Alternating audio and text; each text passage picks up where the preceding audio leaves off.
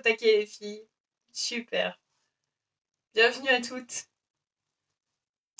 Comment allez-vous aujourd'hui? Bonjour Nathalie, bonjour Laurence, coucou Muriel. Bonjour Véronique.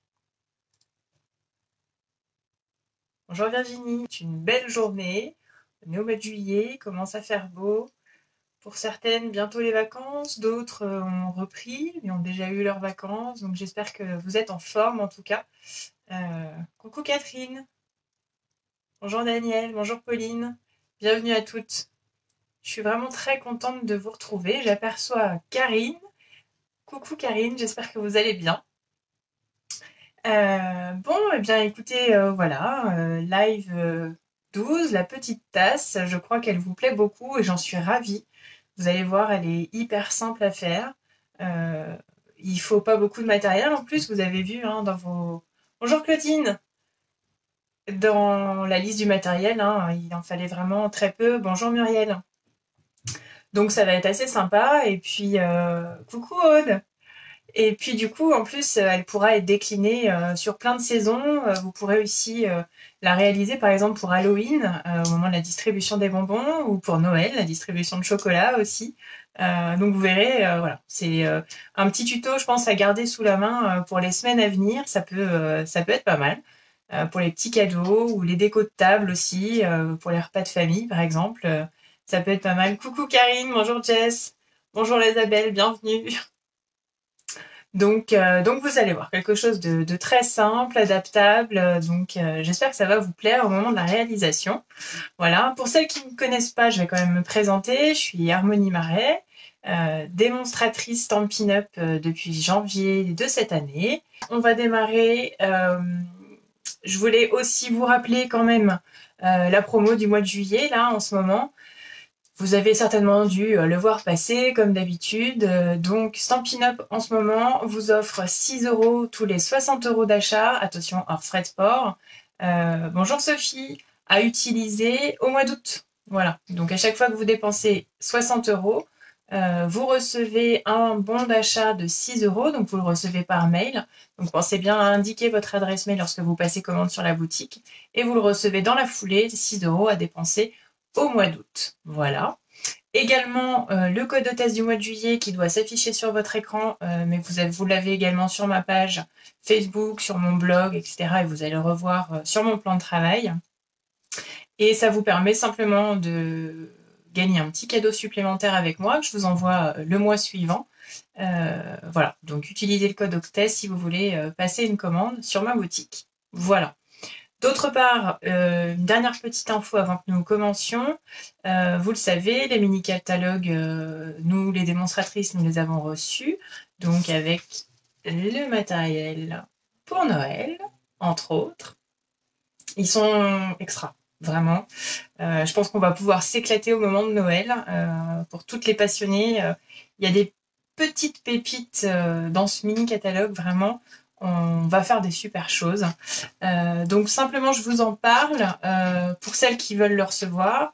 Euh, donc mes clientes, ne vous inquiétez pas, vous allez de toute façon le recevoir.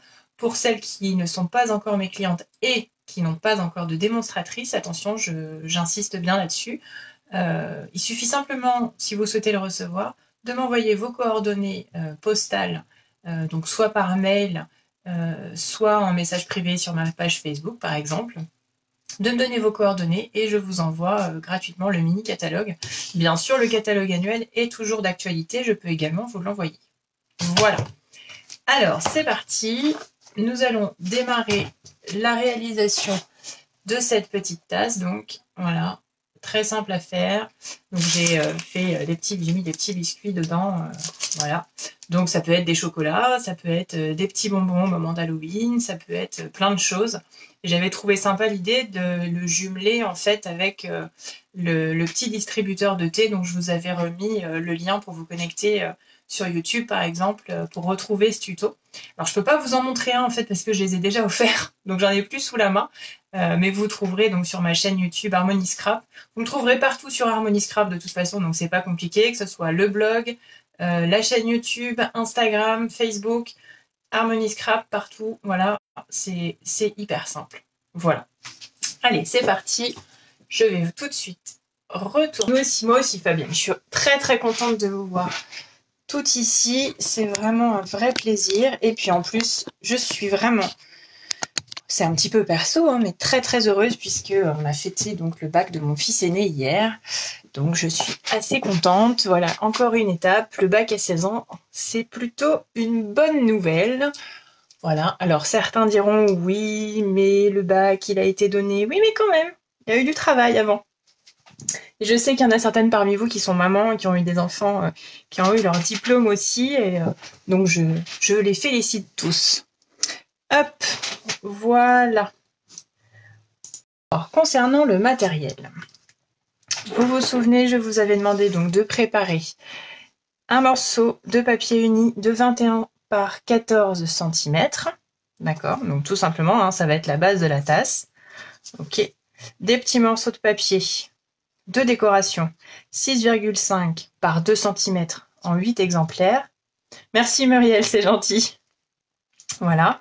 Et un tout petit, alors ça c'est vraiment une option si vous voulez décorer ou pas la anse euh, de la tasse. Voilà, vous pouvez la laisser euh, en uni. Moi j'avais envie de la décorer un petit peu, donc vous voyez c'est ce que j'avais fait sur celle-ci. Et puis tout simplement de la déco pour le devant de la tasse ici. Alors, on est parti. Je vais décaler ça pour que vous voyez bien. Ça, je le mets de côté. J'en ai pas besoin pour l'instant. Je vais donc prendre mon coupe-papier et nous allons commencer à faire les plis. Donc avec le coupe-papier, aujourd'hui on aura simplement besoin de faire les plis. Euh, pour ce qui est des découpes, bonjour Coco, pour ce qui est des découpes, on fera ça euh, au ciseau. Voilà. Alors, comme d'habitude, le petit schéma. Alors, je n'ai pas de retour vidéo, D'accord. Euh, je sais pas, ça se met pas à jour. Euh, donc si vous avez un problème de centrage, n'hésitez pas à me le dire, hein, que je puisse, euh, que surtout que vous voyez bien. Alors voilà les plis. Vous voyez, il y a juste les plis à faire à la verticale et à l'horizontale. Ok.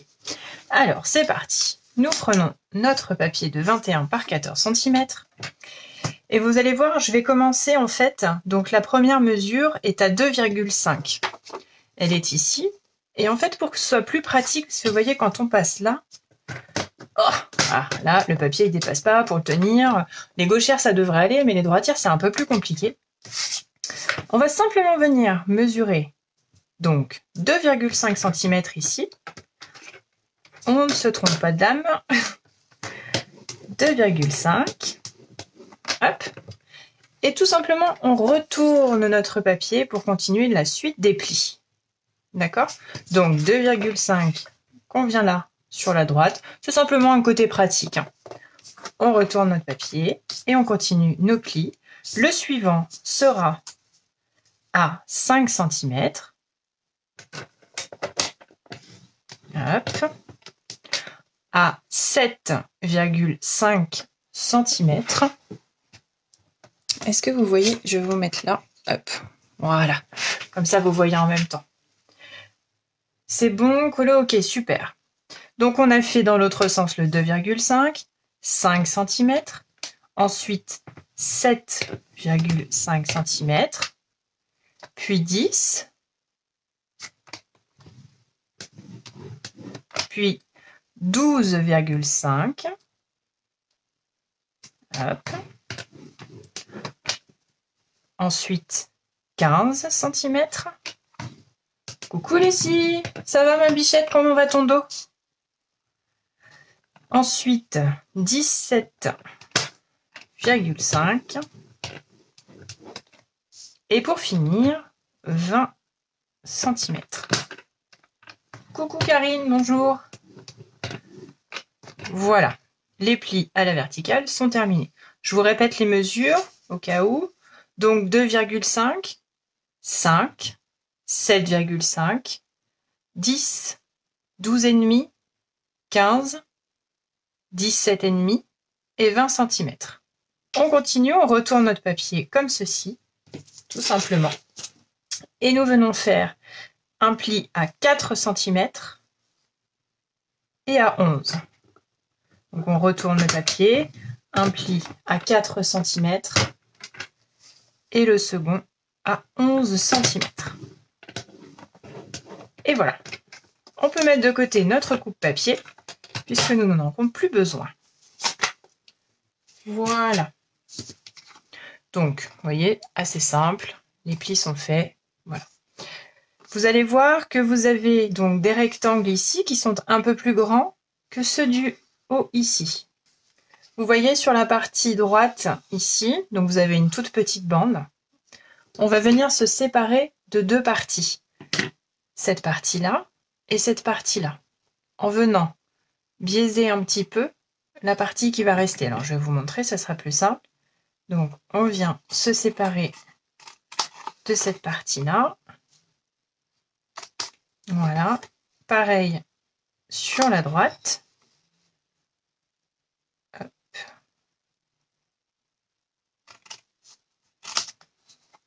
Voilà. Ça va servir, vous vous en doutez, à venir euh, fermer la boîte. Et on va couper un petit peu en biais ici. Et pareil de l'autre côté pour faciliter également la fermeture. Voilà. On vient marquer nos plis.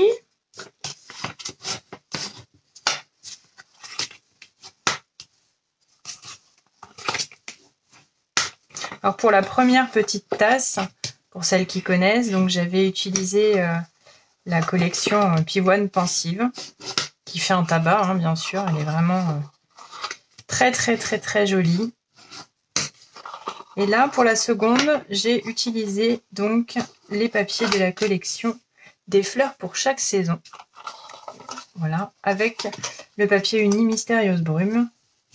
Ça se marie parfaitement bien. Ça donne une, une autre idée, hein. vraiment. C'est ça ce que j'aime bien, c'est qu'on peut vraiment adapter. Alors je continue mes plis, comme ceci. Voilà. Alors, on se retrouve avec ceci. Tout est bien plié. De toute façon, on va réadapter tout à l'heure, vous inquiétez pas. Et maintenant, on va venir couper ces morceaux-là. Voilà. Ça va faire le bas on va rejoindre ensuite pour coller. Alors, il va falloir couper toujours donc sur la gauche et on va venir biaiser cette partie-là. Alors, je vous montre. Je viens couper ici. Donc, on est bien, attention, hein, sur les rectangles les plus grands. Vous voyez, ceux du bas ici sont plus grands que ceux du haut.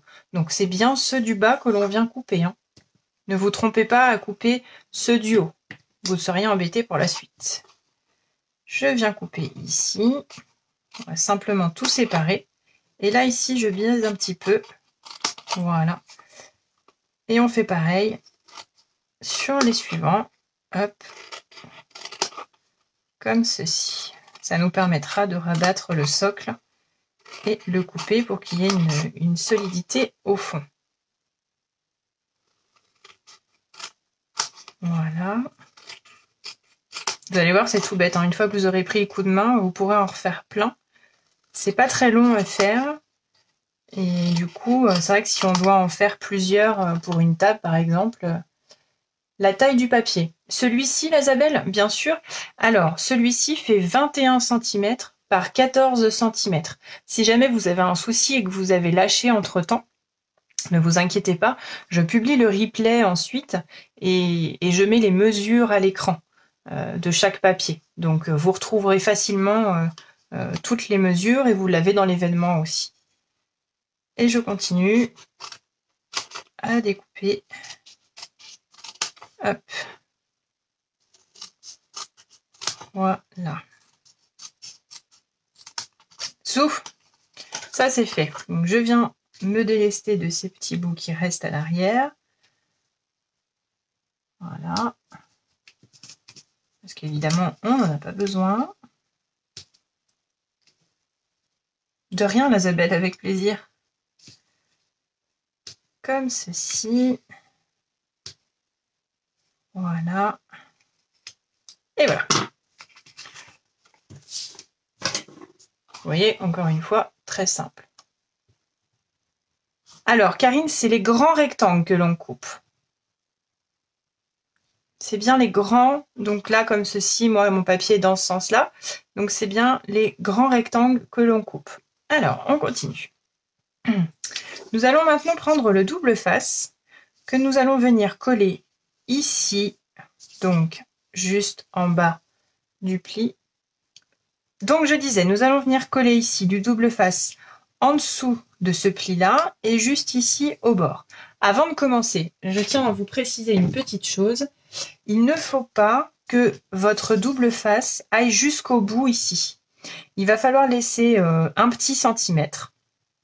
D'accord? Que ce soit là ou là. Donc, vous vous arrêterez à peu près, voilà, à peu près là. Hein, voyez? Ok? Donc, le, le double face viendra ici et ici, ne pas aller jusqu'au bord. Je vous explique pourquoi tout de suite. Donc, ça viendra se rabattre pour se fermer. Et au moment, en fait, où on va replier et on va vouloir coller, notre languette de gauche ici viendra s'insérer là. Vous voyez? Ça permettra une meilleure tenue de la tasse. Donc voilà pourquoi ne pas mettre du double face tout à fait au bord, mais bien laisser une petite marge d'un centimètre ici pour pouvoir insérer la languette pour une meilleure tenue. J'espère que c'est clair. Je t'en prie Karine, avec plaisir. Allez, hop, on vient mettre le double face.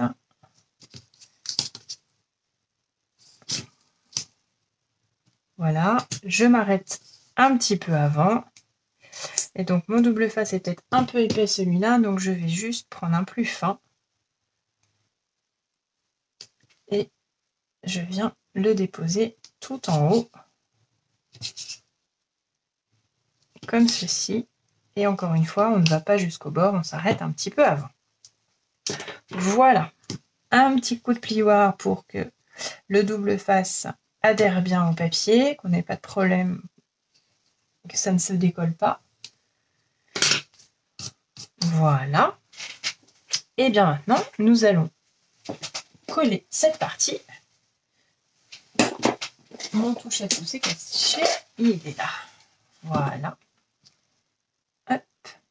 Ce que je vais faire peut-être, c'est redonner un petit coup de pliage pour aider le double face pouvez le faire également, mais sinon ça peut être fait après. Hein, c'est pas... Voilà. Et je viens décoller la petite opercule du dessus. Comme ceci. Voilà. Et tout simplement, on referme. Et voilà.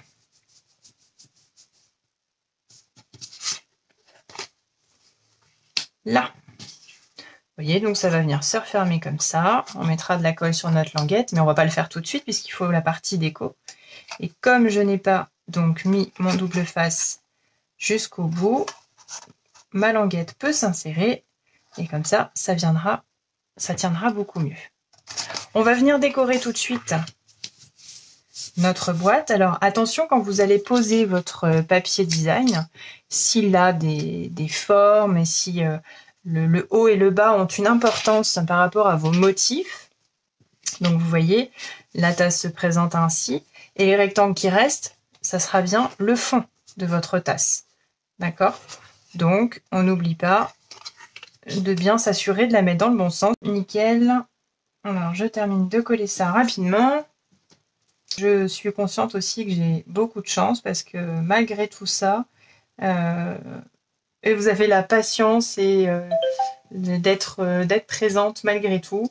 Donc je suis super contente et je me rends compte que j'ai de la chance hein, parce que effectivement pour vous, j'imagine que c'est un peu galère d'avoir des coupures pendant les lives. Bon, l'avantage c'est que ça vous laisse le temps de me rattraper si vous êtes un peu à la bourre. voilà. Hop. Et c'est bon. Ceci dit, le plus gros est donc fait. On va pédaler plus vite. Ouais, Fabienne, je suis d'accord. voilà. Bon, ça, c'est collé. C'est nickel. Alors, maintenant, on vient coller cette petite languette. Donc, on va mettre de la colle et on vient insérer ici. Comme ceci. Donc on met de la colle sur l'extérieur de la languette. Je suis pas responsable, non, je sais Muriel, mais, euh, mais j'aime proposer des choses euh, correctes et propres et, euh, en fait c'est hyper frustrant. Voilà, parce qu'on on passe du temps à préparer des choses sympas, hein, tu le sais, et enfin qu'on espère sympa et qu'on voilà, parce qu'on a envie de faire plaisir aux gens. Et voilà, donc c'est un peu frustrant tout simplement. Voilà, on insère la languette et on vient s'assurer que ça colle bien. Hop. Ok, allez, on lui redonne une petite forme. De toute façon, ça le fera aussi avec le fond. Maintenant, on vient s'occuper du fond de cette tasse. Nous allons venir mettre, alors, soit de la colle, soit du double face. Euh, ça, ça dépend vraiment de ce que vous préférez euh, utiliser, comme d'habitude. Et on va les mettre sur simplement trois languettes. D'accord? Vous allez voir pourquoi. Alors, je vais mettre un petit morceau de double face sur trois petites languettes. Voilà, juste au bord, comme ça. Ça se décolle facilement, donc c'est pratique. Une, deux, et la troisième. Voilà. Comme ceci. Vous pouvez mettre de la colle, hein, vraiment. Euh. J'ai arrêté, on colle les papiers, Fabienne. Alors oui, les papiers design. là, alors là, j'ai inséré ma languette, je l'ai fermée. Euh, mais effectivement, tu viens coller donc les, les 8 petits morceaux de papier design qui faisaient 6,5 par 2 cm. Euh, simplement sur les grands rectangles. Voilà. D'accord? Est-ce que c'est bon? Ok Donc je disais, hop, on vient mettre du double face sur trois languettes ici. Et en fait, on va venir coller chacune de ces languettes avec celle d'en face. Donc ça viendra comme ceci. D'accord? Donc évidemment, on va les rapprocher. Celle-ci viendra avec celle-ci et celle-ci avec celle-ci. D'accord? Alors je le fais en même temps, comme ça vous serez peut-être moins perdu. Donc on a mis du double face sur simplement trois languettes et on va venir les coller avec celle qui est en face. Hop, je décolle ça. Voilà. On peut enlever tout en même temps, hein, c'est pas gênant. Voilà.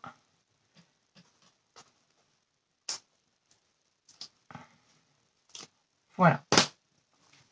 Donc je vais prendre cette petite languette là et je viens prendre celle qui est en face.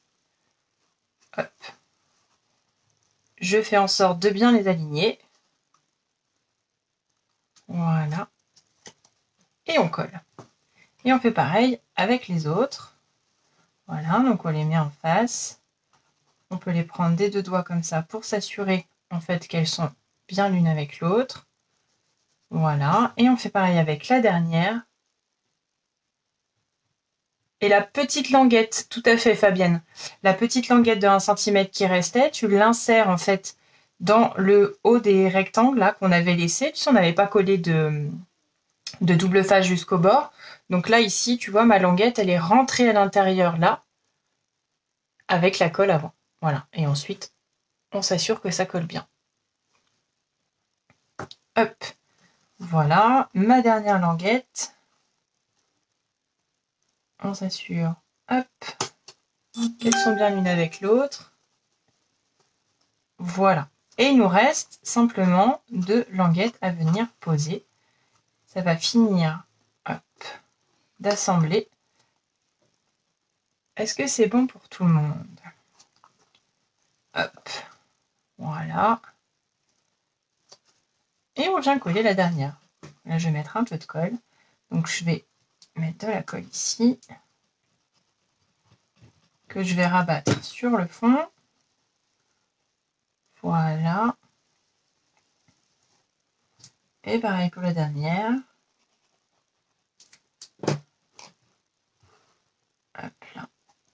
Et voilà. On appuie dans le fond pour s'assurer que tout ça prenne bien.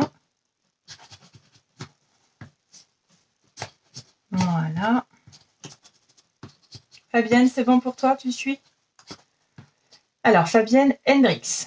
La toute petite bande à droite a été coupée. Alors, Pauline, euh, non, la toute petite bande. Alors, si c'est celle-là dont vous parlez, donc la petite languette là, ici, là, elle, elle n'est pas coupée, elle est insérée en fait. Quand on a plié comme ça, vous savez, on n'a pas mis du double face jusqu'au bord, on a laissé un centimètre. Donc cette partie-là venait se rabattre ici, comme ceci. Et en fait, la languette là, elle rentrait ici pour venir se coller comme ceci. Est-ce que c'est bon, Pauline?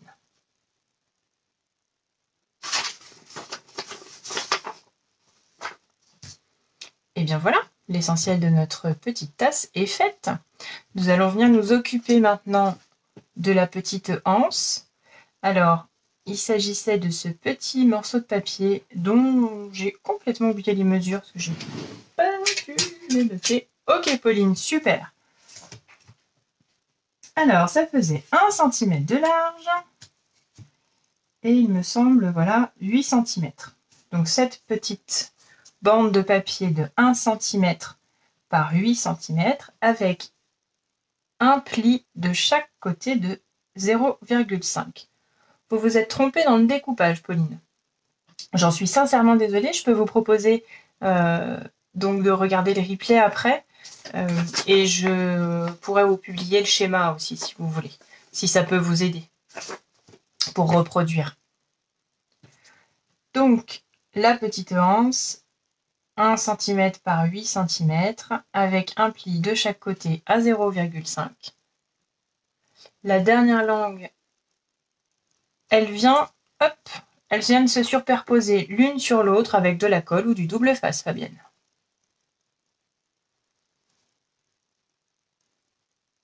Merci Laurence. Au taquet. T'avais tout préparé, c'est vrai. Oui, oui, c'est le même principe, Fabienne, en fait elles, viennent se regrouper deux par deux, en fait, l'une par-dessus l'autre.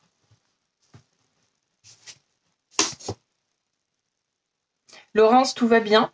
Toi qui étais prête au taquet depuis ce matin avec tout le matos préparé, est-ce que c'est bon? Est-ce que c'est ça répond à tes attentes? Hop, alors on vient donner un petit arrondi à notre languette. Voilà. Alors, soit vous la décorez et donc, vous venez coller un petit morceau de papier design par-dessus. C'est ce que je vais faire. Languette. Attends, Fabienne, il m'en manque un bout. La dernière languette. Oui. T'inquiète pas. T'avais marqué langue? C'est pas grave, j'avais compris. Hop. Allez, je viens coller ça. Ah, bon, je mis plein les doigts. Zou. On essaye de centrer pour que ce soit le plus joli possible. Voilà. Hop. Un petit arrondi. Oui, Laurence? Ah, super. Voilà. Alors, on va venir coller notre anse sur un côté. Donc, pour la coller, je me suis mis, en fait, la languette qui est rentrée là, je me la mets à l'arrière. D'accord? Ça fait l'arrière de la l'arrière de la boîte. Et donc, on vient la coller ici, comme vous voulez, avec de la colle ou du double face. Donc, on essaye de centrer par rapport au, rectangle et au papier design. C'est mignon comme tout, assorti à ma boîte à thé. Je suis super contente, Karine. J'ai hâte de voir les photos. D'ailleurs, si certaines parmi vous veulent publier leurs photos, j'aimerais vraiment beaucoup les voir. N'oubliez pas, hashtag HarmonyScrap quand vous publiez, que je puisse euh, voir vos belles créations à chacune. Allez, je viens coller la rente sur le côté. Un petit morceau de colle. Si vous avez du double face très fin, vous pouvez également le mettre, hein, bien sûr. Donc l'arrière de ma boîte est là. Oui, c'est minutieux. C'est minutieux, mais c'est pas compliqué. Bon, là, euh, c'est vrai que c'est très minutieux parce que c'est un petit bout de papier de 0,5. Effectivement, euh, c'est assez petit. C'est vraiment euh, la petite touche, le petit détail assez marrant, assez mignon. Et on vient coller. Notre anse sur le côté. Alors, je vais la mettre face à moi pour essayer de la centrer correctement. Là, vous pouvez la mettre plus ou moins haute, hein. ça dépend euh, de l'arrondi que vous voulez avoir avec votre anse de tasse. Voilà.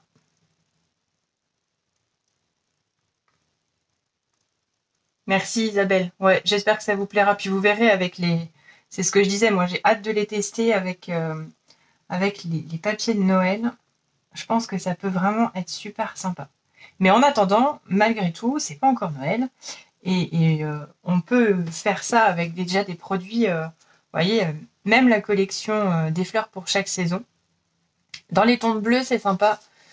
Voilà, dans les tons de rose, vous voyez, c'est deux dimensions complètement différentes et euh, ça rend bien. Voilà. Donc ça peut être déclinable dans plein de tons différents, plein de, plein de couleurs, plein d'occasions différentes. Là, j'ai mis trop délicieux euh, parce que je trouve que ça rendait bien avec les biscuits.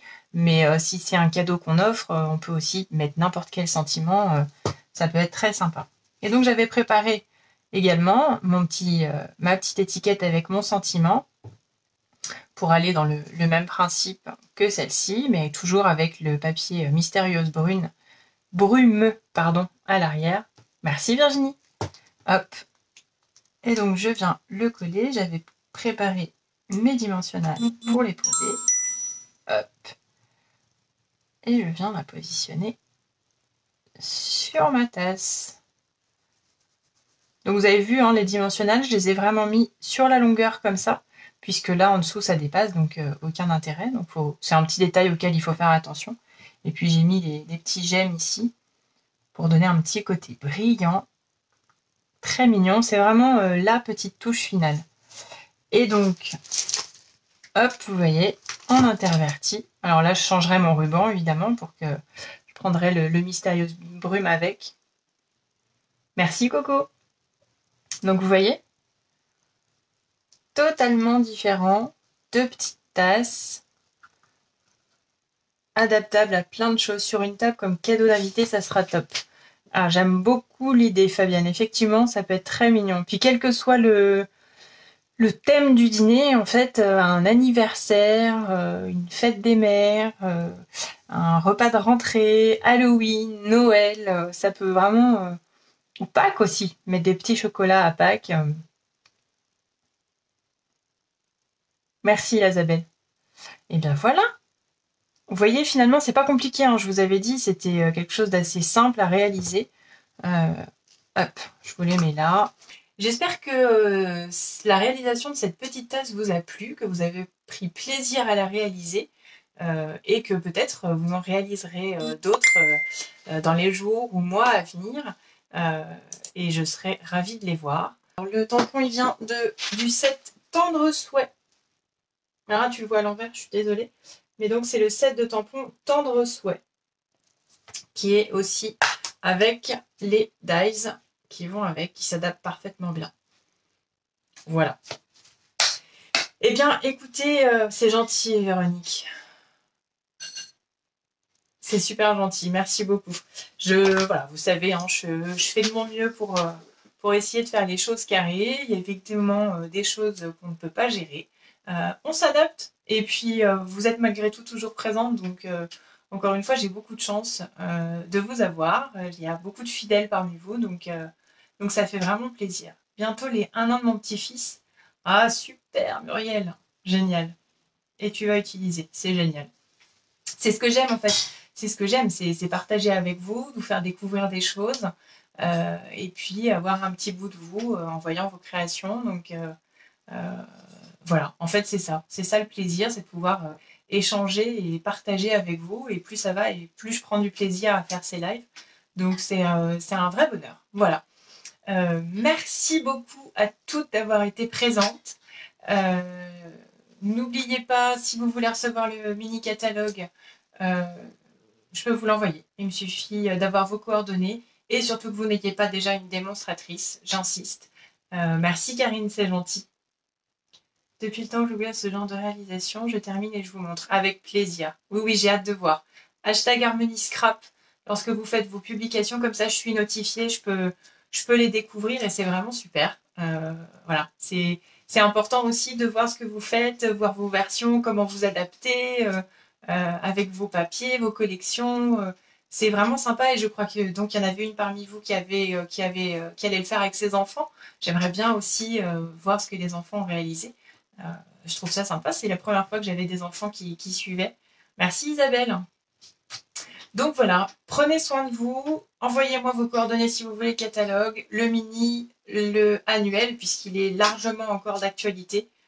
Coucou Nathalie. Bonne journée à vous aussi. voilà hashtag Scrap, le code hôtesse, vous avez toutes les infos sur ma page, vous retrouvez le replay euh, en fin d'après-midi, je fais le montage pour que vous ayez quelque chose en un seul morceau avec les mesures incrustées, que ce soit plus facile à suivre et à faire en replay. Euh, vous l'aurez sur la page Facebook, sur mon blog euh, et sur ma chaîne YouTube. Je commence à avoir des abonnés, donc c'est super sympa. Vous avez prévu de l'offrir, Nathalie? Génial c'est des super petits cadeaux, les gens aiment bien, je pense. C'est les trucs faits main, euh, c'est encore plus. Euh, euh, quand c'est fait avec le cœur et que c'est fait soi-même, les gens savent qu'on les a fait spécialement pour eux. donc c'est un petit cadeau encore plus sympa, plus touchant en fait que d'être allé vite fait dans un magasin. L'un n'empêche pas l'autre, bien sûr, évidemment, mais, mais c'est vrai que ça a une petite touche plus personnelle en fait quand on a pris le temps de réaliser quelque chose pour un petit cadeau qu'on offre. Voilà. Allez, je vous laisse tranquille. Je vous embrasse toutes très fort. Merci beaucoup et euh, je vous dis bah, rendez-vous la semaine prochaine. Je travaille encore sur le projet, je ne sais pas trop, une carte, une boîte. Euh, euh, tiens, pourquoi pas, proposez-moi si vous voulez quelque chose la semaine prochaine. J'essaierai d'avoir le temps de le préparer, mais si vous avez des envies pour le prochain ou, ou pour les semaines qui viennent, voilà.